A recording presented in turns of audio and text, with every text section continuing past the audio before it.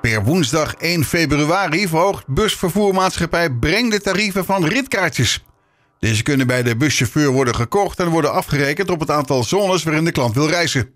Voor één zone moest voorheen 1,50 euro betaald worden. Dat wordt nu 2 euro.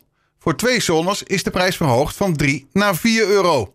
Dit houdt in dat een enkele rit van de Weeshof naar het winkelcentrum in Hatert 4 euro kost, omdat het Maaswaalkanaal een zonnegrens vormt.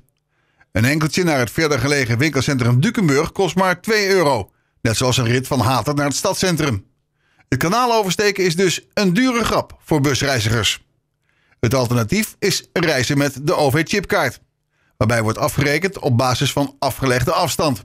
Dit kan dus juist onvoordelig uitpakken voor het reizen binnen één zone.